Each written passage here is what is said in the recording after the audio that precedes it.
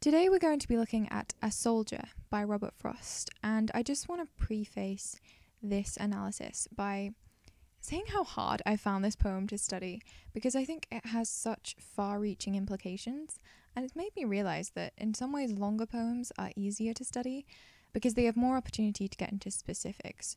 So I would definitely say if this is your first Robert Frost poem, then go look at another one. Um, or at least don't judge him by this one poem because I really think this is very different to most of his other poems, which we will discuss a bit more later on. Firstly, I want to talk about some of the key subjects explored in this poem. So, some of these you could describe as themes, but some of them you couldn't. It's more just the things that make up this poem, if that makes sense. So, if I had to describe this poem in one word, I would say that it's about sacrifice, but kind of expanding off from that, it's also about the wider subjects of death and war and paying respects to people who sacrifice themselves. It also sort of explores the perspective from which we view these things. So it discusses our humanity compared to spirituality, uh, and this brings up subjects of objectivity which kind of goes into some of the perspectives that I think are characteristic of modernism, perhaps in opposition to romanticism, uh, but we'll discuss all that a bit more later on. There's also an underlying exploration of faith and philosophical thought and this kind of belief in a higher power. And finally, it's written in a sonnet form, which is important as well. So, what is the story that this poem tells?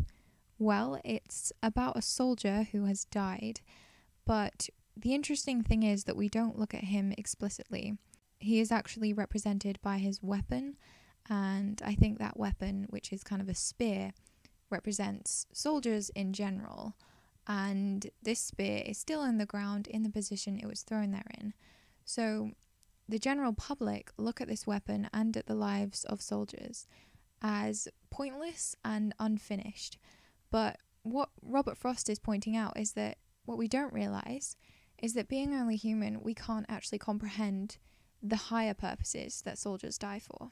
But when they sacrifice themselves, their spirits are rewarded for fulfilling this higher purpose by going to heaven. So you can probably already tell that this is a really deep poem and it's just a really hard one to kind of wrap your head around. Um, but I'm going to try and break it down a little bit. So I think that this poem is sort of split into three sections. So lines one to three outline how most people see soldiers' lives. They see them merely as a dead body which has fallen for no reason. But lines 4 to 11 kind of start to rethink this and Frost starts to evaluate this perspective and how it might be biased or we might not understand what we're judging. And then in lines 12 to 14, he offers an alternative and a more peaceful and objective conclusion. Now, to break it down even further, we're going to look at it line by line. So let's start with the title A Soldier. So, this immediately establishes that this is a poem about the sacrifice of the soldier rather than the really broad concept of war in general. And you'll notice that a soldier is quite ambiguous, not like the soldier. It could be referring to any soldier, and I think that this is deliberate. Our first impression of this ambiguity might be that this soldier has been forgotten and he's he's disregarded as just another weapon in warfare.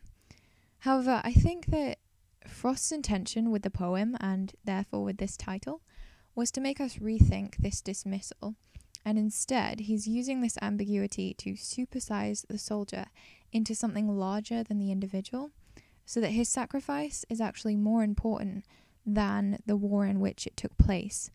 And I think this is to make the point that all soldiers' sacrifice is actually more important than the wars which they were in when they sacrificed themselves. He is that fallen lance that lies as hurled, that lies unlifted now, come dew, come rust, but still lies pointed as it ploughed the dust. So, as I said above, these lines start off the poem with how average citizens tend to see soldiers. So, Frost describes their opinion through an extended metaphor of the lance, which represents the soldier. Already, we're getting the impression that he's critiquing this popular opinion because when it's framed like this, the soldier's weapon seems more important than his life. And I think this is really clever because it makes it obvious to the reader that we have our priorities wrong because obviously a human life is more important than the weapon that he threw. So the mention of rust tells us that the body has been there a long time, and the repetition in come dew, come rust emphasizes this as the rhythm mirrors the passage of time. And I think this implies that we might have forgotten the soldier or we are somehow at a distance from him. People imagine the lance was thrown to plough the dust, which again shows how far from the truth our perception has come and how pointless we've come to see this very meaningful act as. Um, and it does this because dust is infertile, so ploughing it, as farmers do, won't accomplish anything. And in this way, we imagine that the soldier's death didn't accomplish anything. If we who sight along it round the world see nothing worthy to have been its mark. It is because, like men, we look too near, forgetting that as fitted to the sphere, our missiles always make too short an arc. In these lines, the tone shifts to a slightly more thoughtful one as Frost starts to analyse our thought patterns. And for me, these are the most difficult lines of the poem to interpret, and you're going to have to bear with me because it's kind of quite spiritual and deep. Um, what I've yeah come up with as an explanation for this, uh, but let's get into it. Yeah, so the average citizen, Frost is saying, is short-sighted. He says we look too near, and this means we cannot imagine the great mission of the soldier. We see nothing worthy to have been its mark. Fitted to the sphere has a double meaning. In the literal sense, it relates to gravity restricting the missile's throw, but spiritually, it means we're only humans, and the missiles kind of represent our acts. So, as humans who are stuck on Earth, our territory is down on the ground, and that's kind of as far as we can achieve, unlike gods or, you know, higher powers who live in the sky. So, the result of this limited perspective that we have is that people who hear of war on a macro scale kind of look at the spoils of it and think, what even is the point of sacrificing yourself and that kind of thing? And we do this because we forget that the soldier was aiming towards a higher purpose that we cannot comprehend being just mortals who are still on Earth, we kind of don't understand these deeper meanings. Whereas in death and in the kind of transportation of the spirit towards a higher plane, we are able to fulfill this deeper purpose that we cannot do while we're stuck on Earth. So I think that Robert Frost is touching on this idea that peace can't just be imagined and agreed through conversations between countries. Sometimes it must be paid for, and sometimes that payment has to be blood. Perhaps some big changes can only be achieved through dying for them. They fall, they rip the grass, they intersect the curve of earth, and striking, break their own. They make us cringe for metal point on stone. These three lines outline how unpleasant war seems to us. We cringe away from thinking about it. This is demonstrated through striking and break, which are violent words with harsh consonants, and this conveys the tragic destruction of war. Uh, there's also listing and repetition of they, which ups the pace and therefore the urgency. And I think that break their own demonstrates kind of the inevitable destruction and perhaps even self destruction of war. But this we know the obstacle that checked and tripped the body shot the spirit on, further than target ever showed or shone. These final three lines offer a more peaceful conclusion, and they end with a rhyming couplet and alliteration for emphasis of this alternative message. So, tripped the body is referring to physical death, and I think the message here is that death is when we leave the body behind and as a spirit go on to heaven, further than those back on earth can ever imagine. Therefore, the target represents our imagination, the imagination of the mortals still on earth. Then there's a really cool bit of imagery here of a person falling to their death and the earth stopping the fall of their body, but it actually propels their spirit into heaven. Okay, let's take a break from some of this deep philosophical thought and look at the form of the poem. So, this poem is a sonnet, and that means it has an A B B A rhyming scheme. There's 10 syllables per line. It's written in iambic pentameter. There's also 14 lines. Didn't mention that, I don't think. Another thing related to the form of the poem is the perspective that it's written in. So, this is written in first person plural, as in we, um, which emphasizes the philosophical tone because the narrator is speaking not as an individual but for the entire human race. Now let's look at the literary devices used in the poem.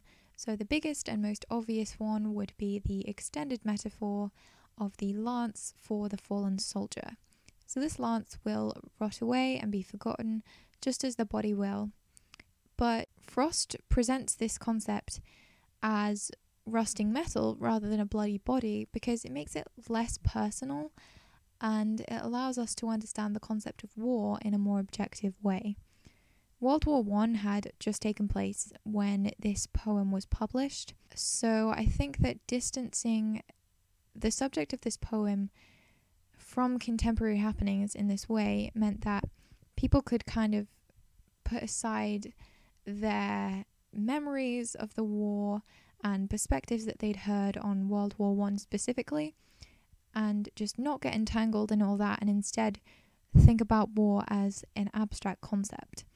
And another thing that helps out with this is that the weapon that is used to represent the soldier is an ageless weapon, pretty much, you know? Or at least it's not one that is associated with the recent conflicts. If it had been a gun or something associated with World War One or that they would have used in World War One, people might become biased in their thought. So I think there's definitely a lot of intention here in how Frost has framed this discussion. As well as this, there is repetition in come dew, come rust, which implies the passage of time, which represents how far our perceptions of sacrifice are from the truth of sacrifice. Then there's a sort of contradiction in the phrase ploughed the dust, since dust is infertile and it can't be ploughed. So this is striking out of its ridiculousness, really, and so this serves as emphasis for how pointless the soldier's death seems to us. Striking and break are violent words with harsh consonants conveying the tragic destruction of war and there's the listing and repetition of they in the middle of the poem, which ups the pace and the urgency. We've covered all this already, but just thought I would try and drill it into your head. Then finally, there's the rhyming couplet at the end, and there's also alliteration at the end of showed and shone, and there's imagery of the spirit being propelled somewhere greater all of which cements the final declaration in our minds. Now let's discuss tone a little bit. So, I think this poem has a very respectful and remorseful tone, and that's sort of established through the quite slow pace of most of the poem. There is very long sentences, and there's not many harsh consonants. Obviously, lines 9 to 11 are exceptions to this rule. There's a lot of harsh consonants there, and there's a lot of sort of pauses for breath, which ups the pace. But in general, it does seem to be just paying respect to fallen soldiers and honouring their sacrifice. in this very sad and somber tone of voice.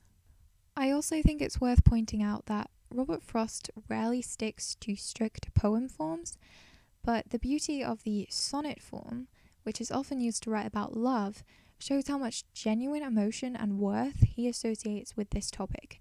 He's made the effort to stick to quite a strict poetic form to, yeah, display just how much he thinks this topic is worth thinking about and the beauty of this topic is worth displaying. And I think this plays into how his approach to this really sensitive topic is very delicately handled. He puts an optimistic and faithful spin on this tragic event, but he doesn't do it to the point of being idealistic.